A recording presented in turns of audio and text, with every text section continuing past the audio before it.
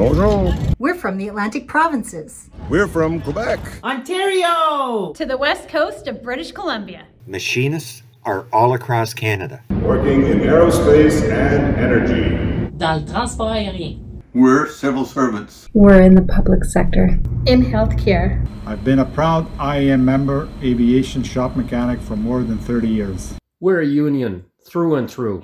And we're fighting for workers' rights. Every Canadian deserves livable wages and good benefits. That's what we fight for. I'm a housing support worker. I fight for justice on the job. Service to the community. We are the fighting machinists from coast to coast to coast. We're Canada's IAM. Come join us.